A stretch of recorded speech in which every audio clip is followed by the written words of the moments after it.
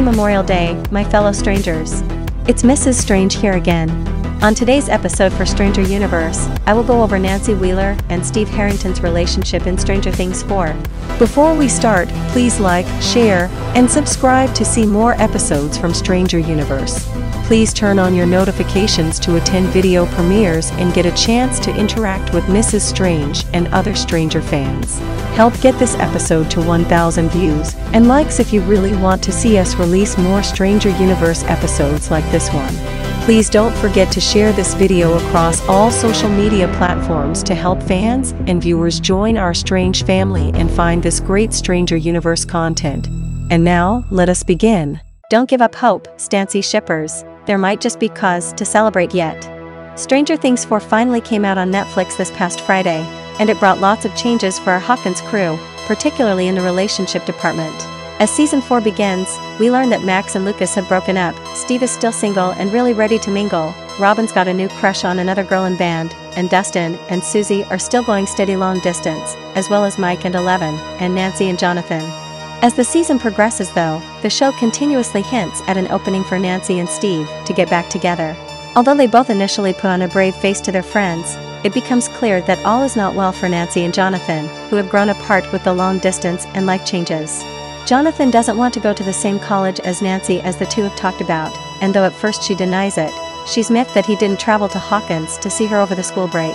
To add insult to injury, while Jonathan, his friend Best Argyle, Will, Mike, and Eleven are all the way across the country, Nancy and her ex-boyfriend are forced to work alongside each other all season in Hawkins.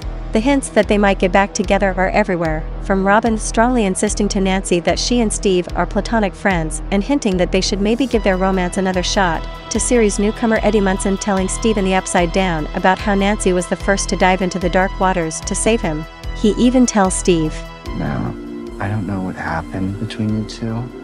If I were you, I would get her back. Because that was as unambiguous a sign of true love as these cynical eyes have ever seen.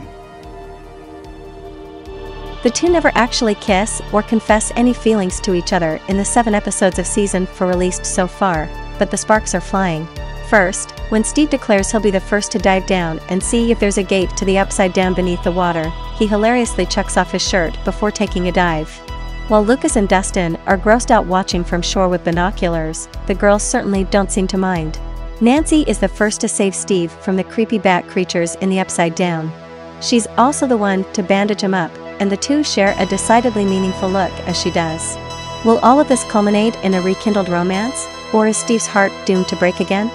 Here's to hoping episodes 8 and 9 provide some clarity to this love triangle when they release on July 1st. Overall, very interesting times.